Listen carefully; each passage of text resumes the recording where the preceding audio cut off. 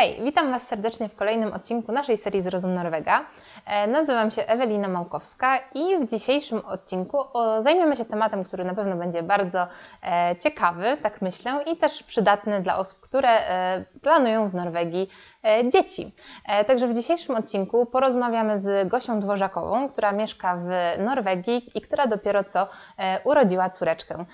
Zajmiemy się najważniejszymi kwestiami dotyczącymi właśnie ciąży w Norwegii. Zapraszam serdecznie.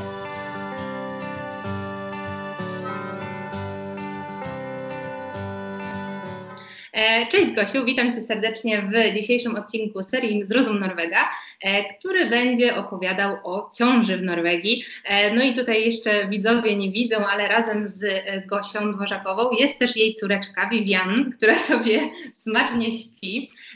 No i właśnie Gosia jest świeżo upieczoną mamą. E, i chciałbyśmy porozmawiać o tym, jak to było e, przejść przez ciążę w Norwegii i jak to jest teraz, jak już e, mała jest na świecie. Także może na początek, Gosiu, czy mogłabyś opowiedzieć trochę o sobie, co w ogóle, co Cię sprowadziło do Norwegii, co tam robisz, czym się zajmujesz? Jasne. Cześć, witam Was wszystkich serdecznie i Ciebie również, Ewelina. Dziękuję w ogóle za zaproszenie do Waszego odcinka. Ja nazywam się Gosia Dworzakowa. Dla tych, którzy mnie nie znają, prowadzę blog Gazela w Laponii. Mieszkam w arktycznym miasteczku Budę za kołem podbiegunowym w północnej Norwegii razem z moim mężem i e, sprowadziło mnie tutaj do Norwegii ogólnie studia. Studiowałam na samym e, południu Norwegii w i Telemark i tam studiowałam na początku Naturbasert Reiseliv, a później zaczęłam studiować roczny kurs języka norweskiego, mhm. który umożliwił mi e, podjęcie studiów magisterskich już tutaj na północy w Budę, które mhm. skończyłam. I już od siedmiu lat tutaj właśnie mieszkamy.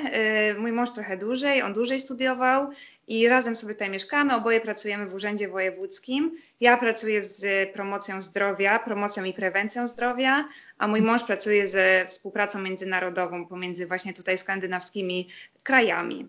Mhm. Także i na co dzień zajmujemy się w sumie poza pracą, to, to właśnie ja piszę i prowadzę bloga, i, i a mój mąż y, też w sumie ma swojego, swojego YouTube'a i on właśnie robi te wszystkie filmy. Chodzimy, bardzo dużo podróżujemy po Norwegii, głównie po tej północnej. Mhm. No i razem odkrywamy tutaj te piękno tego kraju.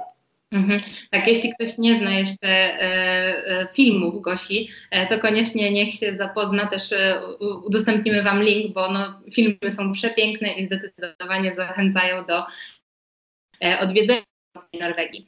E, ale dobrze, bardzo Ci dziękuję za prezentację i myślę, że możemy przejść do już tematu właściwego. Jako też, że sama zajmujesz się też zdrowiem, właśnie promocją zdrowia, to też temat ten pod innym względem jest Ci trochę bliski. E, więc może chciałabym to podzielić naszą rozmowę na takie trzy etapy. E, pierwszy to przebieg ciąży, czyli skupimy się na tym, co mogłoby interesować przyszłe mamy, które chcą przeprowadzić się do Norwegii bądź już tam mieszkają. No i powiedz mi, jak to w ogóle wygląda cały przebieg ciąży, jeśli chodzi o na przykład ilość badań USG, bo na przykład słyszałam różne opinie, że ty... Jest inna, tak. Mhm, dobra, tak. to proszę. E, ogólnie to powiem z góry, że jest to w zależności od tego, gdzie człowiek mieszka, w jakim, w jakim województwie i w, jakim, w jakiej gminie, to, to te, te wszystkie takie jakby ta opieka medyczna jest różna. Mhm. I to, ta opieka medyczna, na przykład, y, na przykład w moim przypadku, mieszkając tutaj w Budę, w większych miastach, masz większy wachlarz y, tych świadczeń, y, które są tak jakby typowo przygotowane dla kobiety w ciąży. I ja miałam bynajmniej to szczęście, że moją całą ciążę prowadził i lekarz rodzinny, i położna. I takie spotkania miałam, miałam tak jakby na zmianę, raz z lekarzem, raz z położną.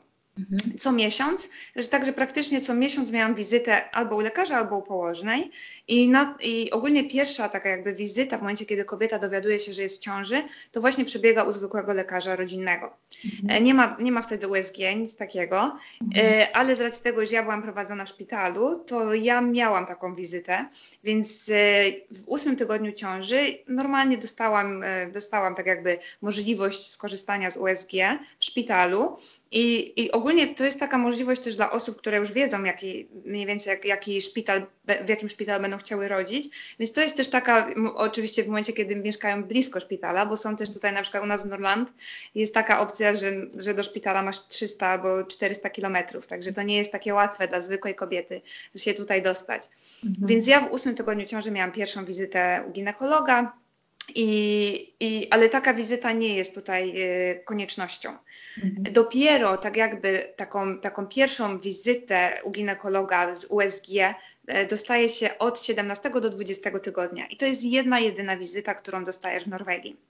Mhm. E, ogólnie na pierwszej wizycie u lekarza rodzinnego, w momencie, kiedy dowiadujesz się, że jesteś w ciąży, idziesz i rozmawiasz, to wypełniacie takie jakby taką kartę, kartę zdrowia albo kartę ciąży e, Mhm. i wypełniacie tam, poru- poruszają, poruszane są bardzo duże, e, duża ilość wątków, od najróżniejszych chorób przebytych po, po wcześniejsze ciąże, czy poronienia, czy, czy jakiekolwiek... E, czy jakiekolwiek, nie wiem, styl życia, e, po takie najróżniejsze rzeczy. I, I wtedy też jest pobierana krew, żeby sprawdzić właśnie na jakim, e, czy wszystkie właśnie, ogólnie czy, czy czegoś brakuje w twoim, w twoim organizmie. I tak samo wtedy też jest badana, e, badany, badany jest mocz. I już za każdym razem badany jest ten mocz albo u lekarza, albo u położnej. Mhm. I też u takiego, i taki lekarz w około 17-18 tygodniu też zaleca, albo może trochę wcześniej, zaleca, zaleca sprawdzenie i zrobienie takiego testu em, na, y, na rozwinięcie tak jakby cukrzycy, Mhm. czyli na poziom glukozy we krwi. I to jest, wiem, wiem że w Polsce też to, to, to jest e, tak jakby standardem, aczkolwiek to są jedne, jedyne badania, które można tutaj zrobić. Mhm. I e, Norwegowie ogólnie wychodzą z założenia, że więcej badań nie jest tak jakby konieczne, z racji tego, iż nie ma e, odpowiedniej ilości badań pokazanych albo przetestowanych, zrobionych, przeprowadzonych na ten temat, który by pokazywał em, przeciwwskazania USG albo jak powoduje ilość USG e, na rozwój, rozwój takiego płodu. Także dlatego w Norwegii nie ma tutaj większej ilości i nie ma większego zapotrzebowania na więcej USG. Tak jak na przykład u nas w Polsce jest to normalne, że chodzi się raz na miesiąc do lekarza i wtedy się sprawdza, czy wszystko jest ok, jak, jaki jest e, przebieg Mhm. całej ciąży. Rozumiem. Czyli ogólnie nie ma tych badań tak dużo jak tutaj e, u nas ma. W Polsce. A czy jest możliwość, żeby samemu jakby sobie to wtedy dokupić, jeśli nas to interesuje i chcemy jednak tam takim polskim stylem to zrobić? Mhm. E, Ogólnie im, e, im mieszkasz w większym mieście, tym te możliwości są o wiele lepsze. Na Mhm. przykład w Trondheim bez problemu ma, masz bardzo dużo placówek, które robią najróżniejsze badania, które robią właśnie takie 3D USG, gdzie możesz zobaczyć nawet jak wygląda twoje dziecko. E, Czegoś takiego u nas w Budę na przykład nie ma i nie było. Musiałabym albo polecieć do Trondheim, do Trondheim albo do Tromsø Mhm. e, i albo do Polski na przykład, E, ale na przykład u nas e, no, no niestety nie ma czegoś takiego, nie ma takich dodatkowych badań. Z Mhm. tego co ja się orientuję, to na przykład u mnie w Budę nawet nie ma prywatnego ginekologa, więc, więc na każdą wizytę trzeba się umawiać do zwykłego lekarza, który lekarz da ci skierowanie do ginekologa. Także, także u mnie na przykład nie było nawet takiej możliwości, żebym mogła sobie iść do prywatnego ginekologa tutaj. I coś dodatkowo, rozumiem. Tak. E, powiedz mi, jak wygląda w ogóle e, kwestia pracy i zwolnienia lekarskiego, tak? Bo u nas, no, jed, powiedzmy, że nie jest to tak trudne, żeby dostać takie zwolnienie, jeśli nie chcemy e, pracować. Rozumiem. Tak. A jak to wygląda w Norwegii? E, Ogólnie w Norwegii wygląda to tak, że ciąża nie jest traktowana jak choroba. I bardzo, e, akurat ten wątek był e, ba- bardzo świeży w mediach. E, Wyszła taka statystyka, że, że osoby, e, kobiety w ciąży, które, które już od najwcześniejszego etapu ciąży idą na zwolnienie, to główne są właśnie Polki. E, Z racji tego, iż właśnie możliwe, że z racji tego, iż mają ciężką pracę fizyczną, tego, tego nie było w danym, w tym badaniu, to nie było podejmowane. Em, I nie właśnie i, i ten wątek był bardzo taki jakby głośny z racji tego, iż tak naprawdę w Norwegii starają się ludzie pracować jak najdłużej. Im dłużej jesteś w stanie e, pracować, tym lepiej. I nawet ma, mają takie prawo, e, na przykład twój pracodawca musi tak jakby zrobić wszystko po to, że w momencie, kiedy warunki pracy twojej zaska- za, zasz, zaszkodzą albo mogą zaszkodzić albo tobie, albo dziecku, to wtedy musi zmienić ci e, to stanowisko pracy albo dostosować twoją pracę do, do nowej sytuacji życiowej. W momencie, kiedy jest to niemożliwe, tak wtedy e, wypełniasz taki wniosek do NAW i NAW pomaga tobie albo, albo wypłaca ci e, tak jakby miesięczną kwotę e, zarobkową, albo po prostu musi ci w jakiś sposób znaleźć jakąś inną pracę po to, żebyś mógł być aktywny w, w, zawodowo. E, jak to wygląda właśnie w praktyce, to różnie bywa. Mhm. E, różnie to bywa. Ja na przykład mam taką pracę, która wiąże się z częstymi podróżami i przyznam szczerze, że na początku bardzo się bałam podróżować samolotem. Tych pierwszych 10 tygodni praktycznie starałam się unikać podróży, ale od 10 tygodnia do praktycznie 8 miesiąca, 7, końca, końca 7 podróżowałam cały czas. Ale to było też, później już byłam tak jakby zmęczona tym wszystkim, więc też zredukowałam sobie ten czas pracy i nie było tego problemem, że tak powiem. Rozumiem. E, dobrze, a powiedz mi, e, to wygląda w kwestii w ogóle dostępu do informacji, tak? Jeśli chcemy się, jesteśmy e, mamą, która, znaczy przyszłą mamą, która dowiedziała się, że jest w ciąży, jak to jest właśnie z tymi e, jakimiś publikacjami, tak, w języku norweskim? Ty znasz język norweski, tak, więc jakby to też e, jest duże ułatwienie, ale mamy też oczywiście dużo kobiet, które powiedzmy posługują się angielskim. Czy dostają, nie wiem, jakieś różne ulotki, tak, czy jakieś też informacje właśnie w języku angielskim, czy w języku norweskim? Mhm. To jest tak, że tak jak Ci wcześniej powiedziałam, że możesz mieć prowadzoną ciążę albo przez lekarza rodzinnego, albo przez właśnie położną w placówce rodzinnej. To jest taka, y, taka przychodnia, Family. Center i tam właśnie w, ogólnie dostajesz swoją położną i ta położna stara się z Tobą, ze, z tobą tak jakby e, rozmawiać i tak jakby udostępniać Tobie wszystkie informacje na temat tej ciąży, które mogą Cię interesować i w momencie, kiedy mhm. potrzebujesz dodatkowych informacji, w momencie, kiedy nie mówisz po norwesku, to taka położna musi porozmawiać z Tobą po angielsku. W momencie, kiedy nie jest to angielski, to wtedy jest troszkę, bynajmniej na przykład nie umie dana osoba rozmawiać po angielsku, tylko rozmawia, rozmawia w języku ojczystym, to wtedy musi dostać tak jakby pomoc również y, w formie tłumacza. I, I, to jest na tyle dobre, że, że każdy dostaje tą, tą ofertę pomocy, ale ty musisz chcieć z tego skorzystać. Nie każda Polka chce z tego skorzystać, bo nie wiem, boi się, nie wiem, nie chce przyjść, nie rozumie. Oczywiście ta bariera językowa na pewno sprawia duże problemy, także to jest zrozum, ja, ja to na przykład rozumiem. Mhm. I e, jeśli chodzi o materiał po angielsku, nie jestem do końca pewna, bo ja nie korzystałam z takich materiałów, ale jeśli mhm. chodzi o norweski, to było różnie. Wszystko zależy od położnej, jaką, jaką dostaniesz przydzieloną. Ja miałam mhm. położną w miarę ok, ale ta, te, te rozmowy i to wszystko zawsze wyglądało tak, że to ja się tak naprawdę pytałam, to ja cały czas tak jakby, tak jakby e, szukałam tej, tej wiedzy mhm. na, temat, na temat ciąży, na temat przebiegu, na temat rozwoju płodu i ona tak jakby sama nie wychodziła z tym. E, mhm. Natomiast wychodziła, jeśli chodzi o na przykład jakieś problemy rodzinne, o alkohol, o, o, o zażywanie jakichś na przykład e, narkotyków. Na przykład mhm. takie rzeczy wychodziły od nich, bo oni muszą tak jakby to, to tak jakby tak. wykryć na najwcześniejszym poziomie istnienia y, problemu, dajmy na to. Także, także jeśli chodzi o informacje, na przykład są stronki helse.nu albo na przykład Helse Direktorate, i mhm. tam na przykład jest bardzo dużo informacji na temat, y, na temat właśnie przebiegu ciąży, na temat jedzenia, na temat, na temat co kobieta powinna wiedzieć e, o rozwoju płodu, co, czego unikać, na temat aktywności fizycznej, na mhm. tematy mhm. nawet związane takie z bardziej na przykład takimi um, jakimiś problemami, jeśli ktoś na przykład potrzebuje, e, nie wiem, porozmawiać albo potrzebuje rady psychologa czy, czy, mhm. czy jakiejś takiej specjalistycznej pomocy, to wtedy oczywiście też są takie, e, wtedy tam się dowie na takich stronkach internetowych.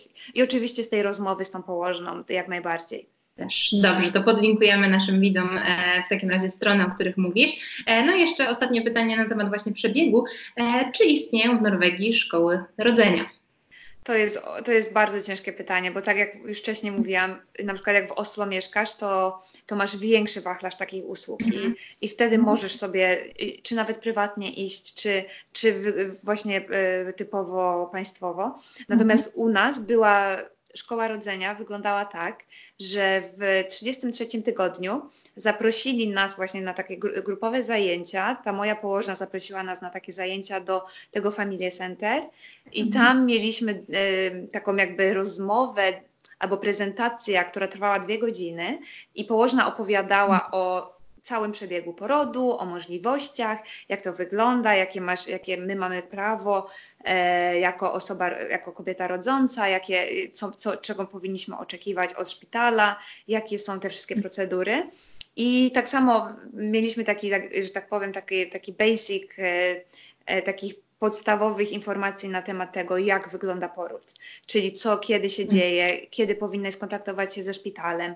E, i, i, te wszystkie takie, tak jakby te procedury, które ty jako kobieta powinnaś wiedzieć. Było to mhm. naprawdę podstawa, podstawa najmniejszej e, po najmniejszej linii oporu bym powiedziała, że tak naprawdę w ogóle nie da się tego porównać ze szkołami rodzenia w Polsce.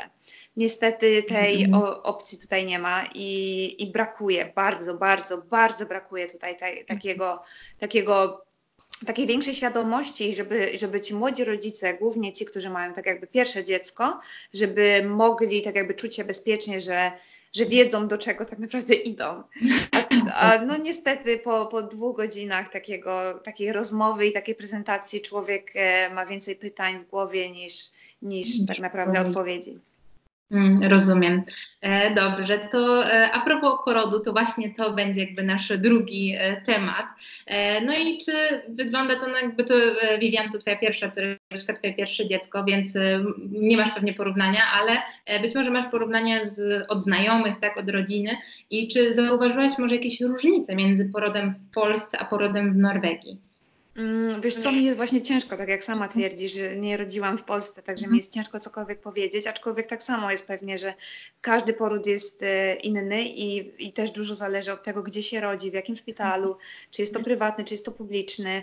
E, ja tutaj właśnie, tutaj ogólnie powiem tak, że w Norwegii każda kobieta ma prawo do wyboru własnego szpitala i mhm. obojętnie, czy to może być w miejscu zamieszkania, czy to może być zupełnie gdzie indziej, także masz wolny wybór, możesz sobie wybrać, gdzie chcesz rodzić. E, I to jest bardzo fajne. E, mhm. Natomiast e, ja rodziłam właśnie tutaj u nas w Budę, w szpitalu, który, który, w którym jest, nie wiem, 38 położnych i, i ten szpital ma, że tak powiem, ma dobrą renomę. Jest mhm. dobrym szpitalem, jeśli chodzi o rodzenie. Procedury mhm. są tutaj bynajmniej takie, i że możesz sobie po pierwsze, to możesz sobie wybrać, czy chcesz rodzić naturalnie, czy chcesz od razu na przykład mieć znieczulenie.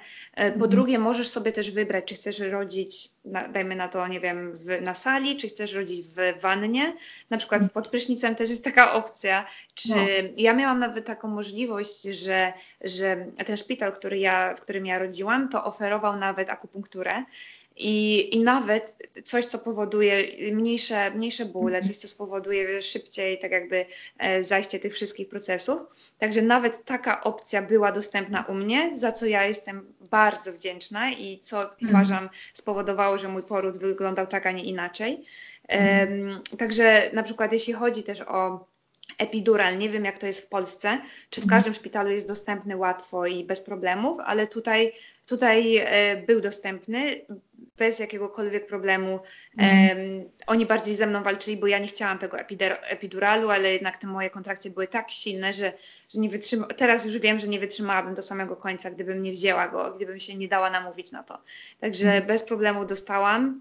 Mhm. I no nie wiem, nie wiem, właśnie nie, nie, jestem w stanie powiedzieć obiektywnie, bo nie byłam w Polsce i nie mhm. rodziłam, także nie wiem, jak to wygląda w Polsce. Mhm. Oczywiście wszystko jest za darmo, cały poród, w ogóle całe też prowadzenie ciąży, za nic kobieta tutaj nie płaci, nie płaci ani korony, płacisz e, ewentualnie jakbyś chciała za dodatkowe jakieś badania, nie wiem, czy nawet za krew chyba też nie płaciłam. Możliwe, mhm. że za tą glukozę, za E, tam się płaciło jakąś znikomą, e, symboliczną sumę 100, 100 iluś tam 20 koron, ale ogólnie za cały poród nic się kompletnie nie płaci. Mhm. Ewentualnie e, oczywiście mąż, to, to co jest jeszcze inne, to co na przykład ja słyszałam, że jest inne w Polsce i w Norwegii, to właśnie obecność, obecność i tak jakby aktywność męża w całym porodzie. Mhm. E, u mnie na przykład y, odbierała cały poród tylko położna. Wiem, że chyba w Polsce jest tak, że chyba musi być lekarz. lekarz. Lekarza praktycznie w ogóle nie było, był tylko anestezjolog w momencie, kiedy dostawałam epidural, mhm. a poza, poza nim była tak naprawdę cały czas tylko położna, e, mhm. która odbierała poród razem z moim mężem.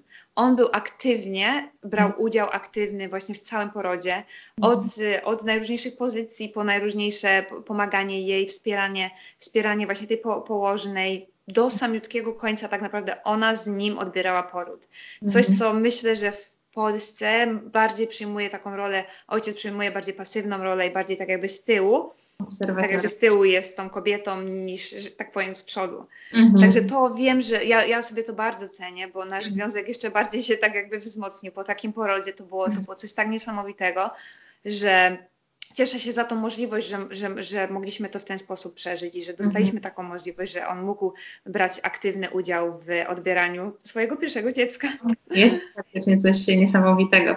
E, a powiedz mi, bo e, jak to w ogóle jak od, czy odczułaś w szpitalu, że jesteś właśnie młodą matką, która przychodzi z pierwszym dzieckiem? Ja słyszałam opinię, sama też nie mam dzieci, ale słyszałam opinię gdzieś tam od moich koleżanek, że jednak traktuje się no, nie, nie za fajnie te matki, które rodzą po raz pierwszy, bo e, traktuje się no po prostu, wiadomo, że one jeszcze nie wiedzą jak to jest, tak, więc można to jakby wykorzystać, tak, że, mhm. e, że nie zawsze są traktowane w odpowiedni sposób. Czy ty odczułaś, że jakby jesteś traktowana inaczej, bo nie wiesz, co się dzieje do końca? Wiesz co, to też zależy od położnej. Mhm. Ja akurat na moim...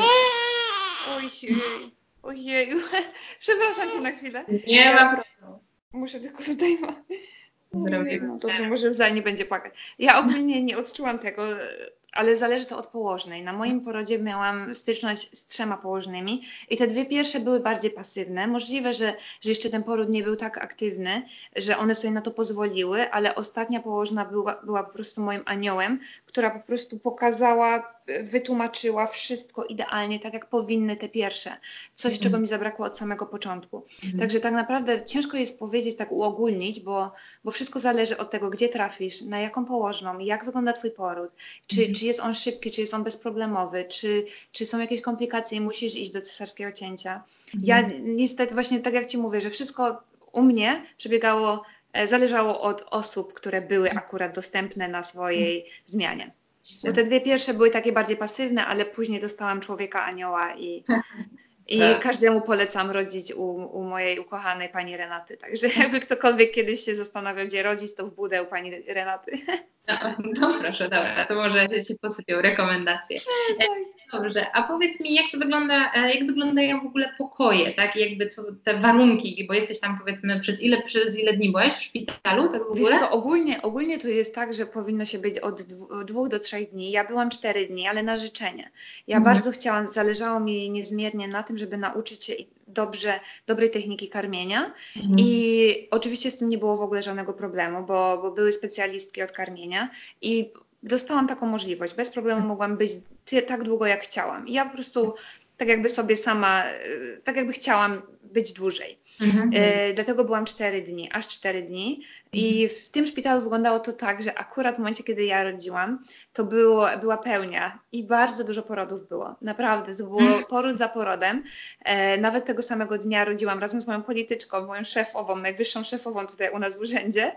Tego mhm. samego dnia, to był w ogóle zbieg okoliczności, mniejsza z tym. E, i, I tak się złożyło, że akurat tej nocy, to była sobotnia noc, nie było wolnych pokoi, więc miałam dzielony pokój z jedną kobietą, która urodziła parę dni wcześniej. Dzięki Bogu nie była to moja polityczka. No, mniejsza z tym, więc, no, ale na drugi dzień i na kolejne trzy dni ja już miałam sama, zupełnie sama ten pokój dla siebie. Dla siebie, dla, dla Vivian i oczywiście dziecko było cały czas ze mną. To nie mhm. jest tak, że właśnie oni je zabierali, ono było cały czas ze mną przy mnie.